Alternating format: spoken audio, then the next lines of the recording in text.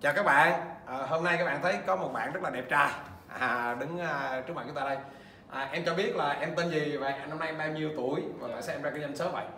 Chào mọi người, mình tên là Phạm Lý Minh Khoa. Năm nay mình vừa tròn 23 tuổi. Thì mình ra kinh doanh cách đây khoảng 3 năm Và lý do mình kinh doanh là mình muốn giúp đỡ mọi người. À, Có một, một cái phương tiện di chuyển vừa an toàn lại vừa thân thiện với môi trường. Wow, tức là năm 20 tuổi ra kinh doanh rồi. Dạ đúng rồi Ồ, cái gì mà, cái cái gì mà nó làm em liều vậy? Dạ. 20 tuổi là mọi người nó liều lắm. À, Em kể cho mọi người cái cú liều của em. Dạ. Thì à, năm mình 20 tuổi, đó là vào năm 2015 Thì trong một biến cố về gia đình Ba mình mất và mình tiếp quản lại cái thương hiệu xe điện. Lúc đó là xe điện Phượng Hoàng Và mình bắt đầu kinh doanh từ lúc đó. Đến năm à, cũng gặp rất nhiều trắc trở trong việc kinh doanh của mình. Đến năm 2018 có nghĩa là giữa năm nay mình gặp được thầy Duy và chính vì những cái lời những kiến thức mà thầy chỉ cho mình đã giúp cho mình có những cái bước đi dần dần vững chắc và định hình được cái tương lai của của cái ngành này à, Mọi người xem này là mọi người rất là bất ngờ là em ra khởi nghiệp năm 20 tuổi Dạ. Và năm nay là 23 tuổi rồi, đã 3 năm rồi à, Em cho mình biết là vì sao em đặt cái tên là Smile À, Smile, dạ. nghĩa là sao? thì Xe đạp mà lại sao Smile? Công ty cổ phần xe điện Smile gọi tắt là xe điện Smile. Thì đối với mình mình muốn truyền tải cho đến những khách hàng của mình. Mọi người cái thông điệp là khi mua xe chúng tôi không chỉ bán cho bạn một chiếc xe mà chúng tôi bán cho bạn một cái giải pháp. Chúng tôi muốn mang lại cho bạn một cái niềm vui. Và ở xe điện Smile không chỉ quan tâm đến túi tiền của khách hàng mà còn quan tâm đến trải nghiệm và cảm nhận của khách hàng nữa. Ừ. và đó là cái tên xe điện Smile ra đời Ờ, thấy ờ, hình cô gái rất là đẹp. Ở ở đâu em có những cái tấm hình đẹp này. Những tấm hình này là được um, chắc lọc và tuyển chọn từ những cái người những cái người bạn cũng giống như là những cái khách hàng của mình ừ. và thông qua đó muốn truyền tải đến thông điệp là Ừ. họ muốn họ có thể mua xe và họ mua xe tặng người thân Ừ. chung quy lại là giúp cho họ một cái giải pháp dạ người ta muốn tìm hiểu xe của em thì người ta phải làm sao dạ các bạn mà, các bạn mà xem cái youtube này các bạn muốn tìm hiểu xe em thì mọi người phải làm sao dạ các bạn có thể truy cập vào trang web của công ty bằng theo đường dẫn là xe điện smile.com dạ. À, à rồi, ờ, họ muốn tìm lên google thì họ gõ cái gì? Dạ, chỉ cần họ chỉ cần gõ là xe điện Smile hoặc là chuyên gia về xe điện là họ muốn ra có trên youtube chưa? Có kênh youtube chưa? Dạ có rồi. à, có kênh facebook chưa? Dạ có cho rồi. mọi người muốn làm đại lý em thì mọi người phải như thế nào? Dạ. Mọi người muốn làm đại lý thì mọi người có thể liên hệ trực tiếp với Khoa bằng cách là tìm Phạm Lý Minh Khoa là ai hoặc có thể các bạn có thể bấm vào trang chuyên gia của mình sẽ thấy những cái chia sẻ của mình. Nó trên đặc biệt trên trang YouTube là chuyên gia xe điện. Thì À. à, mình có chia sẻ về cái cách để có thể bảo quản xe điện thế nào là an toàn. Và cái cách ngoài ra mình cũng chia sẻ thêm về cái cách mà ăn như thế nào cho nó lành mạnh. Đó là gọi là ăn chay trí tuệ. À, à em có khi mà em mới có 23 tuổi mà em đã kinh doanh được 3 năm rồi thì em thấy là trong nhóm bạn bè của mình á, hồi Dạ. khi học cấp 3 đội với nhau á Dạ. thì em thấy em có lạc lòi không? đúng là như thầy Duy nói các bạn à đó là kinh doanh là một cái sự cô đơn và trong những cái ngày đầu lập nghiệp thì đối với mình á cái cái sự cô đơn nó rất là lớn tuy nhiên á mình phải vượt qua cái điều đó và cái cái thành công nào thì nó cũng phải đi trên cái quãng đường khó khăn và tuy nhiên khi mà mình đến với Bitrinin á mình gặp được những cái người bạn những cái người đồng chí hướng với mình và họ đã giúp đỡ hỗ trợ mình rất nhiều về kiến thức về cái công việc và trên hết là một cái mối quan hệ.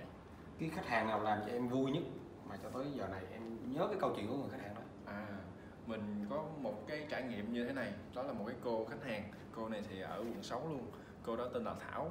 Thì cái cô Thảo đó đến cửa hàng của mình sửa xe. Nhưng mà cô nói với như thế này nè Cô biết cửa hàng của con từ rất là lâu rồi Từ lúc mà ba con còn sống cái kìa.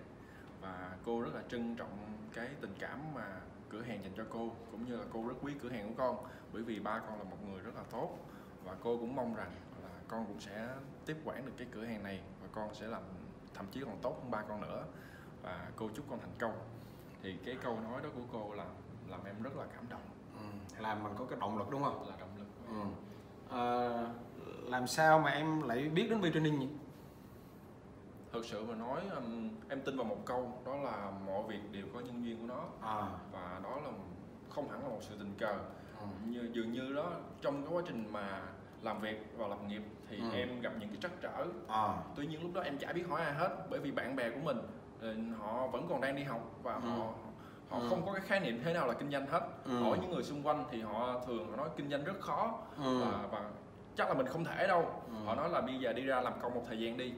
Nhưng mà lúc đó em em tin vào chính mình. Em tin là sẽ tìm được một cái phương án nào đó ừ, để mình có thể mình kinh doanh theo một cách mà nó nó có cái hướng đi nó rõ ràng hơn. À, thì qua tìm hiểu thì mình được một cái người bạn giới thiệu à, đến V training. Mình lúc đầu mình không không tin vào đó, điều đó. Mình không tin vào điều đó. Nhưng mà mình vẫn thử bởi vì người bạn họ dám cam đoan với mình. Ừ, và kia là mình đến mình học cái lớp học 3 tiếng sau đó thử cái lớp 2 ngày và cuối cùng là mình quyết định mình đăng ký thì mình cảm thấy những cái giá trị mà thầy Duy chia sẻ rất là tuyệt vời dạ. à, em có cái triết lý gì cái tầm nhìn của em cho cái lĩnh vực của em này Dạ. trong 5 năm nữa 10 năm nữa nó là gì Dạ. Đối với lại à, xe điện Smile thì ngoài cái việc mà mang lại một cái giải pháp phương tiện xanh cho doanh nghiệp và cũng giống như là khách hàng thì bên cạnh đó xe điện Smile muốn truyền tải một cái lối sống lành mạnh, một cái phương thức ăn chay có thể gọi là ăn chay trí tuệ để giúp cho cuộc sống mình có thể tốt đẹp hơn. Và đó em, là cái thông điệp mà em em nói cái ăn chay trí tuệ cho mọi người hiểu chút. Dạ. mọi người chưa ngộ. Như thế này ăn chay trí tuệ nói đơn giản không có nghĩa là mình chỉ ăn chay. Ăn chay từ rau củ ăn chay từ thực vật cũng giống như khoa là một người theo giáo lý nhà phật. Và khoa rất là mong muốn mọi người có thể ăn chay hay là học tập.